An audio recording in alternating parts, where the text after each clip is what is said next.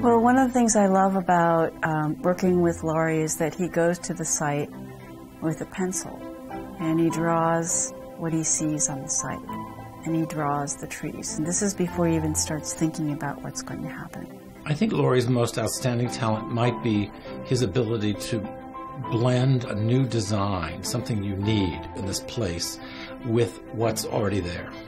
I think he takes a while to look at things, to understand them, to understand the people involved as well, to understand the goals. Because he has, again, a sort of sense of the civic like no one else does, that history comes without being forced. And then because he has a sense and love of the plant material itself, that too comes without force. We had mostly a neglected landscape. It was still all there as the first part of rebuilding the American Academy in Rome. Certain things had to be completed and, and certain things removed. He was not afraid to do very little. I think what Laurie does as a landscape architect, he is there, but he is not there.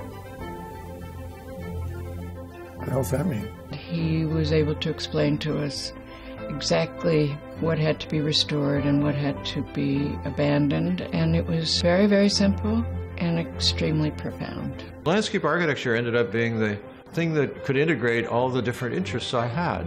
The interest in nature, the interest in cities, the interest in design and art, the interest in architecture, the interest in composition, the interest in helping people. And so a lot of things all kind of came together in this one field for me.